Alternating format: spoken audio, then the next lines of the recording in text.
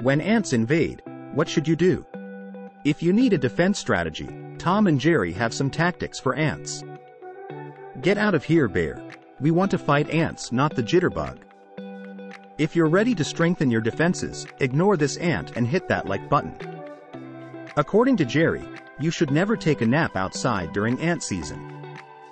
If the ants attack, fight back with a stick. Do not use a celery stick.